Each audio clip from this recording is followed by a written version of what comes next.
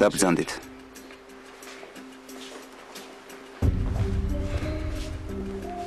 ჯორჯ ბუში, ამერიკის შეერთებული შტატების 53-მე პრეზიდენტი, არწმუნებდნენ, რომ რუსეთიდან მომდინარე საფრთხე ქართველების მიერ გადამეტებული იყო. მთელი ამ დღეების განმავლობაში ჩვენი წყაროები გვატყობინებდნენ, რომ რუსეთის მიზანი იყო სამხრეთ ოსეთის გაწმენდა ქართული შეიარაღებული ძალებისაგან და სეპარატისტული რეგიონების დედაქალაქის აღება. ეს ინფორმაცია ჰქონდა სახელმწიფო დეპარტამენტსაც. გენერალი მაიკლ ჰეიდენი, ამერიკის შეერთებული შტატების დაზვერვის სამსახურის დირექტორი. 2005 წელს დიკ ჩეინის მიერ ამერიკელი ჯაშუშის ლუის ლიბის იდენტურობის გაცემისთვის ატეხილი სკანდალის შემდეგ მკვეთრად დაუპირისპირდა ჩეინის. არიზიარებდა ვიცე-პრეზიდენტის პოზიციას და პრეზიდენტს საპირისპირო არგუმენტებს აწვდიდა რუსეთის საქართველოს დაძაბულობის შესახებ.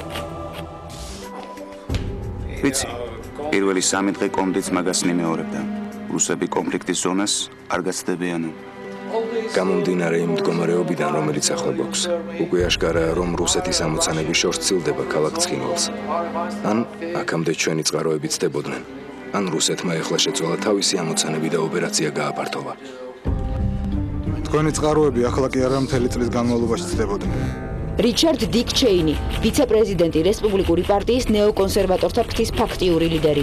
იგი ერთადერთი იყო მათ შორის, ვინც რუსეთის საფრთხეს რეალურად აფასებდა და საქართველოს დასახმარებლად ამერიკის მკვეთრ, მათ შორის სამხედრო ნაბიჯებს უჭერდა მხარს. სტარი იყო თქვენი დასკვნებით. თქვენ სულ ამტკიცებდით, რომ რუსეთი ამაზე არ არის სამსვლელიო. ზაკაშვილი აჭარბებსო. ზაკაშვილმა რაც იერუსალიმში გითხრა ზუსტად ისე მოხდა.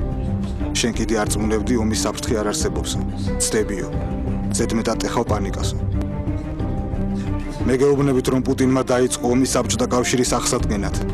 არ გამოურიცხავ რომ ეს მხოლოდ დასაწყისია. შემდეგი ნაბიჯი შეიძლება გახდეს უკრაინა თავისი ღირებით.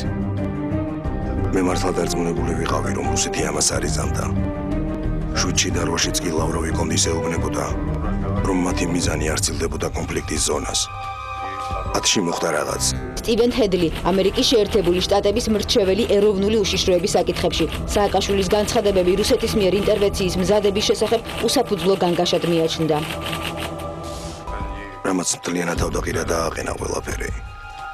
პუტინი თვითონ ჩაუდგა ოპერაციას სათავეში და ლავრომაც მაშინ უთხრა კონდის, რომ მათი მიზანი სააკაშვილის შეცვლა იყო. აქამდე მეც მეგონა რომ სააკაშვილმა სულებული შეცდომა დაუშვა. რუსეთის მეზობელ სახელმწიფოში შეჭრა არა მარტო ზომიერ საქციელად შევაფასე. ახლა აღარ აქვს მნიშვნელობა მაშინ რა გვეგონა. ახლა მნიშვნელოვანია რა ხდება ადგილზე, ამ წუთას და რას ვაკეთებთ ჩვენ უახლოეს საათებში.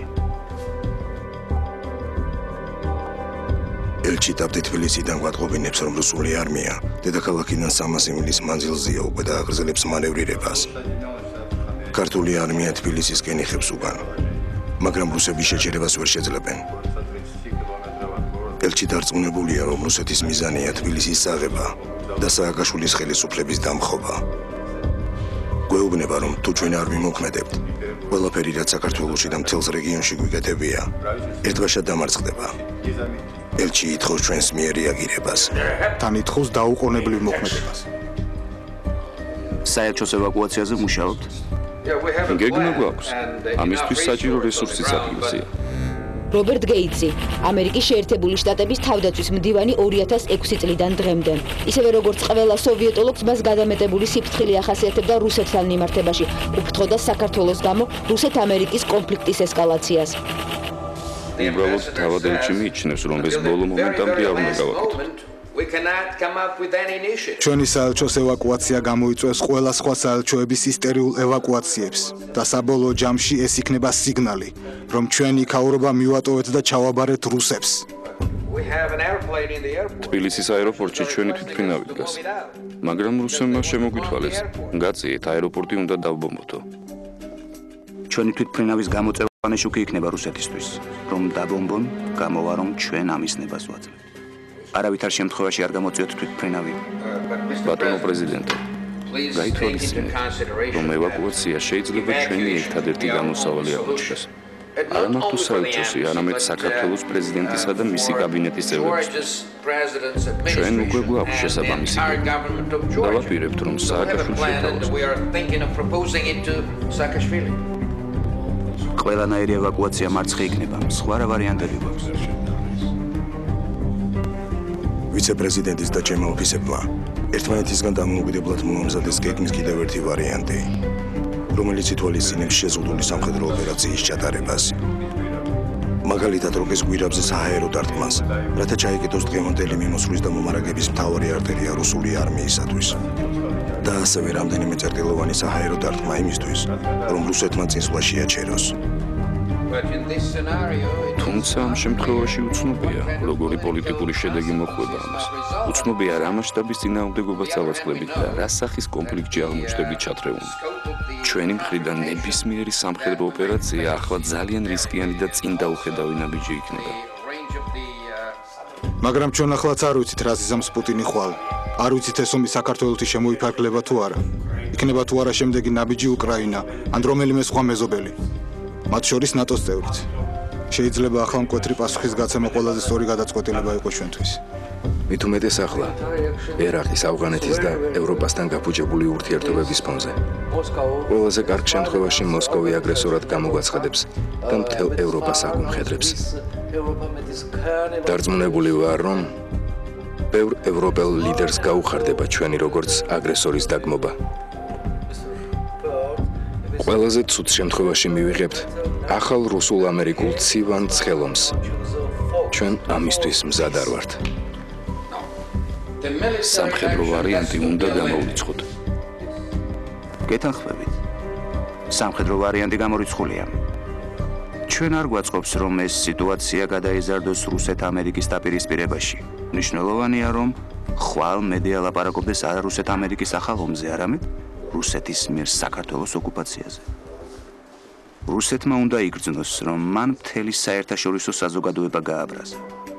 და მას უპირისპირდება არაერთი ამერიკა, არამედ მთელი საერთაშორისო სისტემა. ამიტომ უნდა ეაქტიუროს ევროპამ. ინიციატივა უნდა მივცეთ ჩვენს ევროპულ პარტნიორებს. ჩვენ კი აქტიურ მოქმედებაში.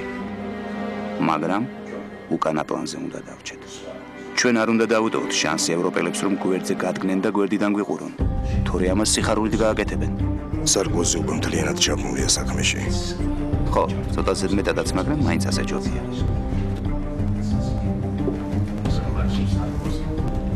მაგრამ სარგოზი რუსებს ვერ გააჩერებს. ჩვენ უნდა ვიმოქმედოთ.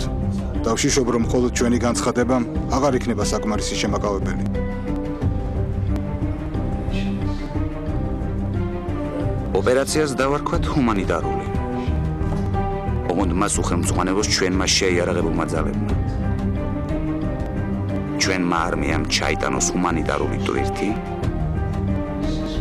და ყველამ დაინახოს, რომ ჩვენ არ ჩავდივართ რუსებთან საომრად. მაგრამ ამავე დროს დაინახონ, რომ ჯარისკაცები საქართველოსში არიან. ასეთ ნაბიჯს უდავოდ ექნება მნიშვნელოვანი სიმბოლური ძალა. მაგრამ შეიძლება მხოლოდ სიმბოლიკა არ აღმოჩნდეს საკმარისი.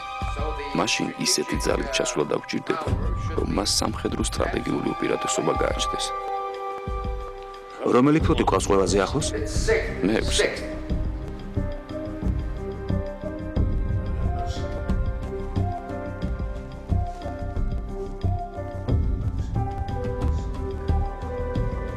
მაშინ მე-6 ფლოტი შევიდეს შავ ზღვაში და მან მიიტანოს საქართველოს პორტებში ჰუმანიტარული ტვირთი. მე-6 ფლოტის შავ ზღვაში შეყვანით როგორი იქნება ძალთა ბალანსი ჩვენსა და რუსულ ფლოტს შორის? სრული უპირატესობა ზღვაზე. თელი კავკასიისა და სამხრეთ რუსეთის უდიდესი ნაწილის სრული საჰაერო კონტროლი და მნიშვნელოვანი უპირატესობა ფლოტის სარაკეტო იერიშის რადიუსში, რაც გადაფარავს საქართველოს. ჩვენ შევძლებთ საჰაერო რეისების განხორციელებას თბილისის აეროპორტშიც. მოცულობები ცირე იქნება, მაგრამ ოპერაციას მნიშვნელოვნად გააძლიერებს. თუმცა ბატონო პრეზიდენტო უნდა გაითვალისწინოთ, რომ ჩვენი და რუსების სამხედრო ხომალდები პირისპირ აღმოჩნდებიან. ასე ახლოს კარი კრიზისის მერე ჩვენ არასოდეს ყოფილვართ რუსეთთან ომთან.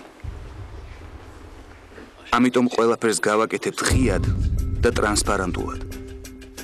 ყველას გავაფრთხილებთ პირველ რიგში რუსებს, რომ ეს არის მხოლოდ ჰუმანიტარული ოპერაცია. გვექნება მთელი საერთაშორისო თანამეგობრობის მხარდაჭერა და თავიდან ავიცლებთ ყველანაირ ესკალაციას. ჩემი აზრით ეს იქნება რუსეთის შეკავების ყველაზე ეფექტური და ამავე დროს ღირსეული ფორმა. თანახმახართ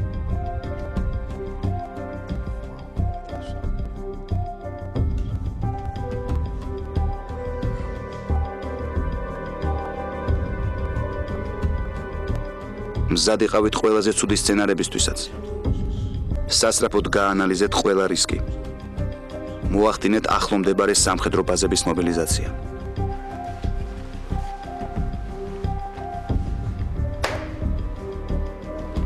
დროებით